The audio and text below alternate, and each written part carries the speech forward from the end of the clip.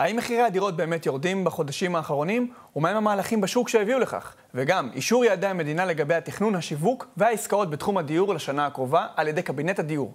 נמצאים איתנו ירון ספקטור, שמאי בעל משרד, ירון ספקטור, שמאות מקרקעין, ורוני מזרחי, בעל קבוצת רוני מזרחי ובניו. שלום. שלום, שלום. ירון, ברבעון הראשון של 2018 נרשמה ירידה חצי שנתית של 2.7 אחוזים אה, במחירי הדיור. הנתון הזה, יחד עם עוד נתונים נוספים, בהכרח מראים על אה, מגמת ירידה להמשך השנה? שוב, זה שני מישורים. אחד, הסטטיסטיקה, לא הייתי מתרגש ממנה, היא לא מדויקת, היא גם מערבבת מאוד את מחיר למשתכן. הרי ברור שאתה נותן הנחה של 200-300 אלף שקל לדירה, והדירות האלה נמכרות, זה בתוך הסטטיסטיקה. אבל מה שאני רואה מה, מהפעילות שלי, והפעילות לא, לא קטנה, כמעט 17 אלף יחידות דיור, המשרד שמפקח עליהן, יש היחלשות, בעיקר בפריפריה. עוד לא ירידת מחיר, ירידה בקצב המכירות, ובעיקר אה, מתנות של הקבלנים. הוא נותן לו שדרוג במפרט, הוא נותן לו מזגנים, הוא מפנק אותו בקטע הזה. אז רואים חולשה בפריפריה. ידוע כבר בתל אביב, הדירות יוקרה גם, אה, כבר לא, אין אוויר אחרי 7 מיליון שקל, אין, יש פחות קונים. גם תושבי חוץ באזור תל אביב יצאו לנו מהתמונה בגלל ה... רגולציה של אה, הון שחור ומיסוי גבוה. רוני, אתה חושב שזוגות צעירים יכולים להתחיל לטפח תקוות אה, לקנות את הדירה הראשונה שלהם? אה, נוסיף על זה גם את תוכנית מחיר למשתכן? במחיר למשתכן הרעיון מבורך. הבעיה במחיר למשתכן, שהוא מכריח אנשים לגור במקומות שהם לא רוצים, לא צריכים ולא יכולים.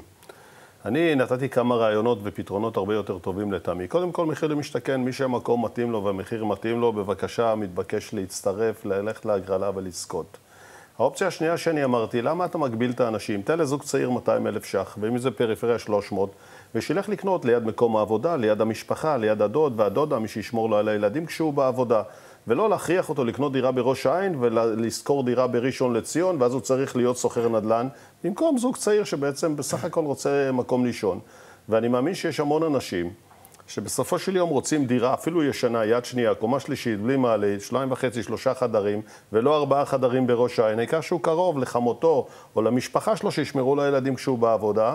לנושא מה שדיברת עם ירון קודם, אחד, מחירי הדירות ירדו ב-0.1. נו, תשווה את זה לעליית 0.3 בעלויות הבנייה. הרי מדד הבנייה עלה ב-0.3, אז הכל לבטלה והכל שטויות. כשאתה עושה שעטנז לא נכון בין מחיר למשתכן למחיר השוק החופשי מערבב, ואומר המחיר ירד, הרי זה לרמות את עצמך. כי בסופו של יום דירות מסובסדות בין 200 למיליון שקל, ברעננה והרצליה דירות מסובסדות במיליון ש"ח. כשהמדינה שמה יד בכיס ומורידה במחיר ומערבבת את הכל, בוודאי שקיבלת מחיר נמוך יותר. אז זה לא בדיוק אמיתי.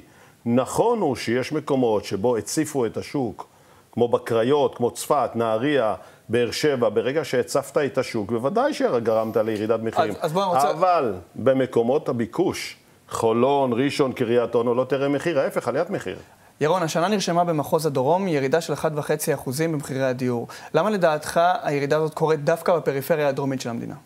ברור, הרי האוצר מחלק את כל התחמושת שלו, והתחמושת שלו בעיקר היא בפריפריה, בצפון, גם רואים חולשה וגם בדרום. זה מה שיש לו למכור. הקושי האמיתי, אותה תוכנית משתכן שהיא ברוכה, מתאימה אולי לטווח קצר. היינו מצפים עכשיו כבר שיהיה את הגל השני של הגדלת ההיצע. רוני בטח מכיר את הבירוקרטיה הקשה לאשר תוכנית בניין עיר, את הבירוקרטיה הקשה להוציא היתר בנייה. להוציא היתר בנייה היום בשנה, אתה תציל לא, תציל עוד כוכב, שנתיים, שנתיים להוציא היתר בנייה. משהו פה משובש. זה, זה מצחיק שאנחנו חוסמים את עצמנו עם הבירוקרטיה. כולם רוצים להשקיע פה, כולם רוצים לבנות, התל"ג צריך לעלות, הרווחים של המדינה יגדלו, ואנחנו עסוקים בביורוקרטיה. למה יש ועדה מחוזית אחת? למה לא לעשות חמש ועדות מחוזיות של חוזר המרכז? למה דיון צריך לקחת אה, אה, אה, שלושה חודשים לקבוע דיון וחודש לפרוטוקול? אנחנו תקועים עם עצמנו, אנחנו קושרים את עצמנו, ונכון שמחיר למשתכן זה היה פתרון לטווח קצר, אבל יאללה, צריך להתקדם לפתרון האמיתי, להגדיל את ההיצע. קבינט הדיור בראשות שר האוצר משה כחלון אישר יעד שיווק של 70 אלף יחידות דיור בשנת 2018, ואנחנו מוסיפים לזה גם יעדים של מדינת ישראל על עסקאות מאושרות בראשות מדינת מקרקעי ישראל בהיקף של 45 אלף אה, יחידות דיור. אה, אתה חושב שאפשר לעמוד ביעדים האלה?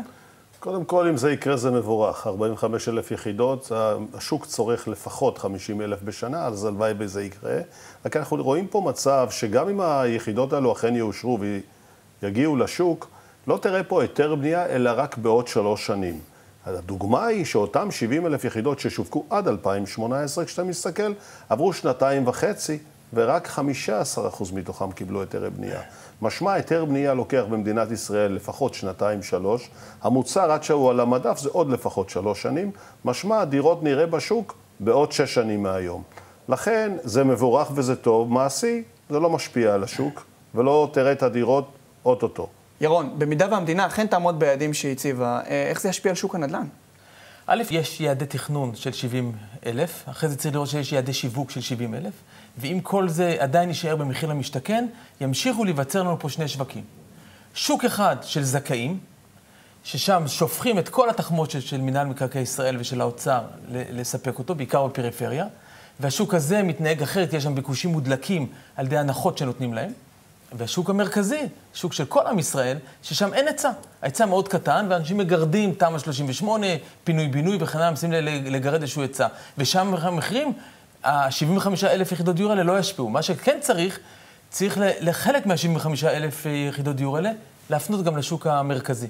רוני, מה הצעדים שהמדינה צריכה לעשות בטווח המיידי כדי לסייע לחסרי הדירות לרכוש דירה ראשונה? בטווח המיידי, מחר בבוקר, אנחנו היזמים עובדים על כ-40-50 אלף יחידות דיור היום. תחייב את הרשות המקומית לתת תקן שבס, תוספת שבס כחלון, 30 אחוז דירות של בין 70 ל-80 מטר, תחייב את הרשות, לא כזכות, לא כרשות, ואז אתה בא לעירייה ומתחנן ומסתבך ומבלבל את המוח. תחייב את הרשות על אותן תשתיות, על אותה תב"ע קיימת, על אותו מגרש קיים, כבר שאנחנו נוסיף על 100 יחידות עוד 30 יחידות של 70-80 מטר, אלו הדירות שתקצה אותן לזוגות צעירים, לתושבי המקום, לזכאים, למי שנראה לך.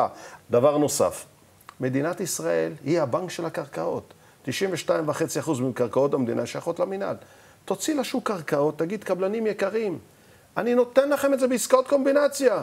מחר בבוקר כולנו מתנפלים כי זה כדאיות כלכלית, ואז באזור מרכז בין 30 ל-40 אחוז מהדירות הולכות למדינה, והמדינה שתעשה איתן מה שהיא רוצה. דירות להשכרה, דירות לזכאים, דירות לנכים, דירות ל- למי שהיא רק חושבת לנכון, שתעשה מה שהיא רוצה, שתגריל אותם. שת...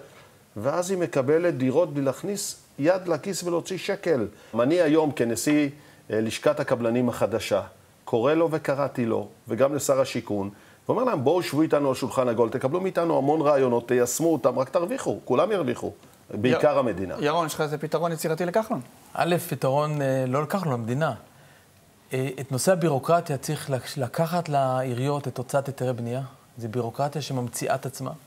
להוציא את זה למכונים אה, פרטיים, כמו שהיה בטסטים של האוטו, שפעם משרד התחבורה היה עושה טסטים, זה היה לוקח יום, יום, יומיים, היום אתה עושה את זה בשעה.